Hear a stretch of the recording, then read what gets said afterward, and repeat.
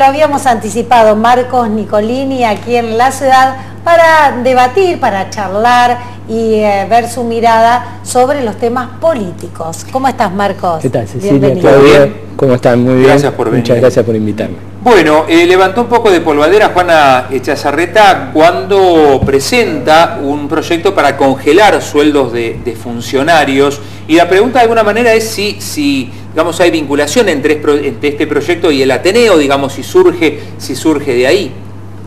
Y, concejales, funcionarios y concejales, no solamente funcionarios.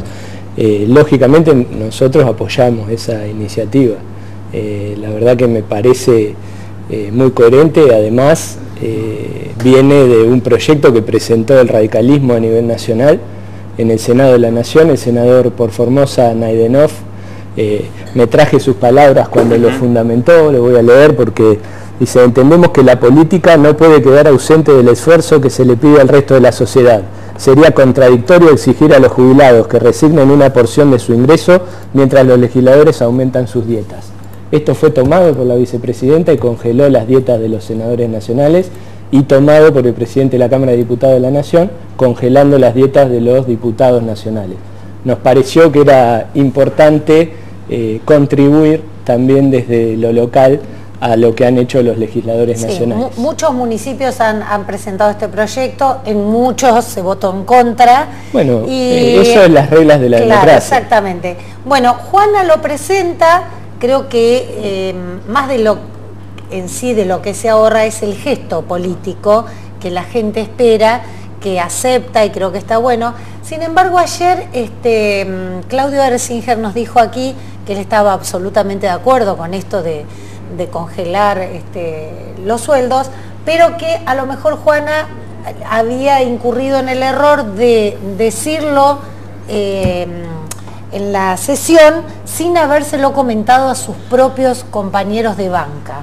A ver, yo, creo que ellas son dinámicas, son dinámicas de bloque eh, Juana es una persona fresca, que para mí es un aire fresco en la política. Eh, ella tiene la visión de una persona que la pelea todos los días en un emprendimiento eh, que le cuesta pagar los impuestos como a cada uno de los ciudadanos de este país y de esta ciudad. y lo presentó frontalmente y porque cree en eso, cree que hay que hacer un esfuerzo desde la política.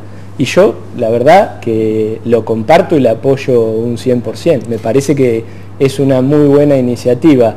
Como concejal, cualquier concejal puede presentar un proyecto. Cualquier vecino de Tandil se puede presentar en el Consejo Deliberante y presentar un proyecto. Ahora, Marcos, vos conocés la dinámica del bloque, formaste parte hasta el 10 de diciembre. ¿No se charlan las cuestiones que se van a hablar luego en el recinto antes en el bloque? Porque Juana reconoció, ¿eh? ella dice, yo tendría que haberlo. Hay cuestiones que se charlan y cuestiones que se pueden presentar. Nadie puede hacer un cargo a ningún concejal por presentar un proyecto.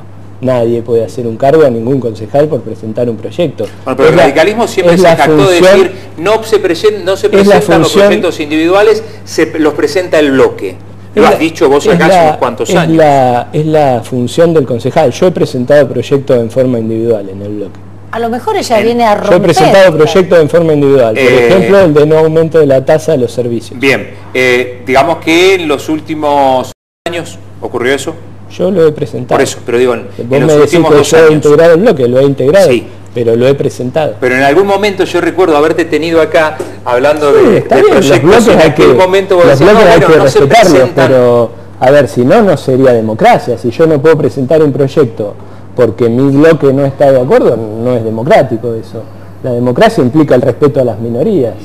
Y si las minorías tienen un proyecto que no comparte la mayoría, si no, eh, cada uno está limitado a lo que decide una persona. Para mí no estamos en la edad media, esto no es feudalismo, acá hay democracia y cada uno puede presentar lo que le parece que es correcto. Y a mí me parece que es correcto y seguimos la línea de la Unión Cívica Radical. Estoy de acuerdo, Marcos. Eh, ocurre que por ahí uno va, eh, perdóname que, sea, por ahí te resulta eh, duro esto, pero acomodando el discurso de acuerdo al lugar donde uno se encuentra. No, no, no es mi caso. bueno, repito, hace unos cuantos años vos acá dijiste, los eh, proyectos del bloque radical, era bloque radical creo que en aquel momento todavía, se presentan en bloque. Hoy te planteás, y no está mal, eh, bueno, se pueden presentar individualmente. En aquel momento también, pero se presentaban. He presentado proyectos en forma Pero por eso en estos últimos dos dentro del bloque. Bueno, cambió la dinámica porque se fundó Cambiemos, eh, fuimos parte de eso, se creó una coalición y hay dinámicas de coalición. Y dentro de Cambiemos el Ateneo también. El Ateneo es parte, No, no es un partido político. El Ateneo, el Ateneo nuclea gente que viene de distintos partidos políticos e independientes. ¿sí? Como Claudio es del PRO, nosotros varios somos del radicalismo, eh, pero te insisto, eh, a mí me parece que es un proyecto que está en línea con el esfuerzo que se le está pidiendo a toda la sociedad. No se sale en este país sin esfuerzo, no se va a salir y ojalá que podamos consensuar las políticas para que de una vez empiece a haber crecimiento que va a ser paulatino y de a poco la incorporación de la gente que hoy se encuentra en la pobreza para que crezca la clase media en la Argentina y se consolide. Pero necesitamos acuerdos. Bueno, esto es, me parece un gesto importante, me parece que es un gesto importante. Me daría lástima que eh, Juana, que la conozco, que es una persona con, muchas convicciones, eh, que por haber presentado esto y esto que ayer, bueno, este, nos decía un poco Ersinger, bueno, creo que el error fue no habernos consultado, no haber no consultado, sino haberlo hablado antes con los integrantes del bloque. Yo en lo personal creo que, que actuó bien, ella tenía eso. Salvo, los políticos o funcionarios, el resto estamos todos de acuerdo que debería, por lo menos un gesto debería me da, haber. ¿Qué me da miedo? Que por esto em, la empiecen como a ir cercando en otras cuestiones, porque Juana tiene una impronta eh, que por eso mismo mucha gente la votó, de ir al frente, de bancarse las cosas que dice, de sostener este, sus convicciones y eh, ojalá estas cosas no la vayan coartando en su libertad no, no lo creo, no lo creo. Eh, también el bloque debe empezar a asumir que hay distintas miradas. Y por eso hablo de democracia, escuchar las miradas disidentes eh, y hacer lugar, porque si uno escucha y nunca hace lugar es lo mismo. Entonces, si no hace lugar a las miradas disidentes, eh, es muy difícil, pero esto se gana con tiempo eh, y, año a año, ella recién empieza. Yo escuché el reportaje que le hicieron a Juana cuando hablaba del no voto al CUS. Eh, la verdad que faltó el contexto en esa nota, porque estuvo abocada al estudio del presupuesto, desde el día que asumió hasta la votación del presupuesto. Un concejal que entra, que no está habituado a todos los términos y cómo es la forma del presupuesto, es muy difícil que pueda atender todos los temas desde el 10 de diciembre hasta el 28 de diciembre que se que tuvo la primera sesión donde se votó el presupuesto. Eh, Entonces, eh, ella se abocó mucho al presupuesto, lo estudió, con mucha seriedad eh, y lo acompañó. Me parece que los, que son concejales de hace tiempo, los que están en la política, no le perdonan esa frescura a Juana, que pueda decir, la verdad, no, no estaba al tanto del tema, por eso eh, me parece que no le perdonan Yo esa creo que viene a romper moldes y ojalá no pierda eso, ¿eh? porque es lo Yo creo que tiene una fuerte personalidad y va a poder va a poder trabajar muy bien y como dice, como dije antes, creo que toda la lista que nosotros habíamos conformado y que eh, Juana creo que es un honor ser concejal, representar a, sus vecinos en el Consejo Deliberante, eh, los va a representar muy bien. Eh, nosotros en La Paso tuvimos 15.700 votos y yo creo que cada uno de esos votantes está contento con el proyecto que presentó que presentó Juana. así que desde ese punto de vista me parece que, que es muy bueno y que viene a trabajar en forma comprometida, no a ocupar y calentar una banca. ¿Por qué digo que, me parece que esto molesta a, propios y a extraños? Digo propios y extraños, pero todos dentro del mundo de la política. Me sorprendió un posteo de, la ex concejal, mandato cumplido, la concejal mandato cumplido, María Eugenia Pome, que el otro día estuvo con nosotros aquí. Ella, eh, Juana, dentro de las cosas que nos dijo, es que la gente estaba harta de, de los políticos, ¿no? Y, escribió en, su muro de Facebook Paumé, dice que una concejala que representa un espacio o frente político ponga en duda, aunque lo haga poniendo en boca de otros, la valía del rol que cumplen los políticos, demuestra a las claras que la militancia es necesaria. Los outsiders, es decir, los que vienen de afuera, hacen muy mal a la democracia porque siempre le bajan el precio a las convicciones de quienes abrazamos y defendemos una ideología, sea cual fuere. ¿Qué reflexión te merece esto de Paume? A ver, ella es eh, una concejal mandato cumplido, al igual que lo soy yo, es militante de un partido político, al igual que lo que soy yo, pero todo el mundo tiene derecho en democracia a presentarse, a ocupar roles. A mí me parece que el involucramiento de gente que no viene de los partidos políticos tradicionales es muy bueno porque da otra visión de las cosas también. Si no, eh, ocurren las cuestiones, lo que llaman palaciegas, las cuestiones que eh, ve nada más que el mundo de la política. Y la sociedad somos todos.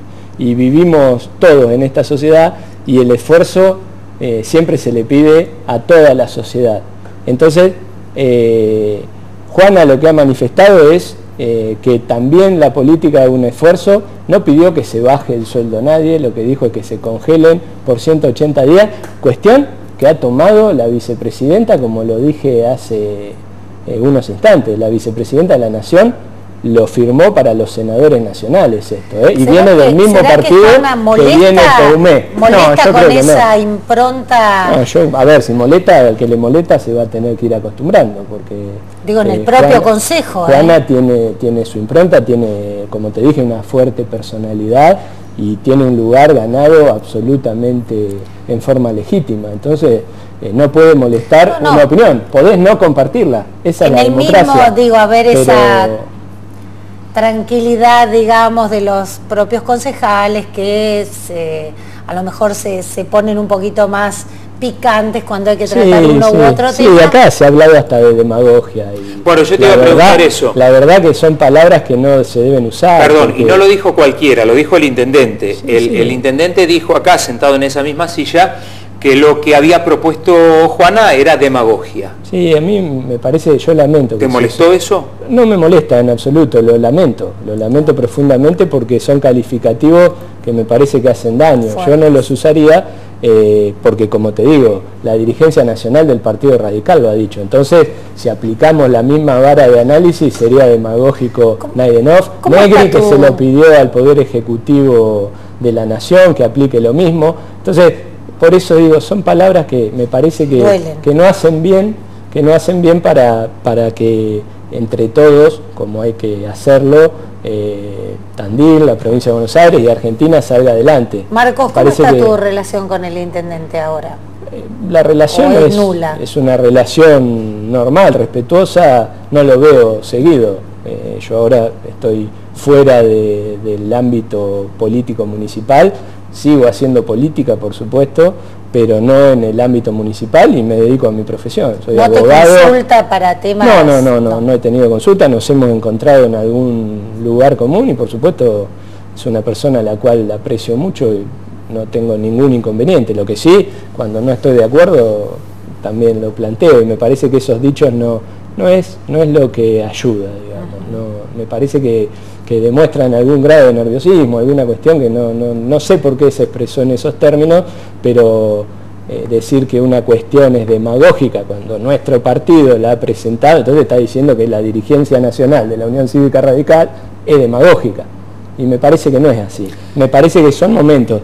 Esto en el gobierno anterior, que nosotros tenemos que hacer, por supuesto, eh, la reflexión, la autocrítica, estamos a un mes de haber eh, cambiado el gobierno a nivel nacional y provincial. Si hubiéramos hecho todo bien, seguiríamos siendo gobierno y por eso no lo somos. Hay que hacer la autocrítica, pero todo el gobierno anterior no se vivió en emergencia económica. En 2016 se salió de la emergencia económica y se transitó todo ese gobierno con cuestiones muy duras, con todo lo que todos conocemos, pero no en emergencia económica. Yo creo que ahora, al dictar nuevamente la emergencia económica, que es esta ley de solidaridad que se ha votado hace pocos días, requiere también un esfuerzo de eh, todo lo que tenga que ver con eh, el Estado y sobre todo los funcionarios políticos y los legisladores.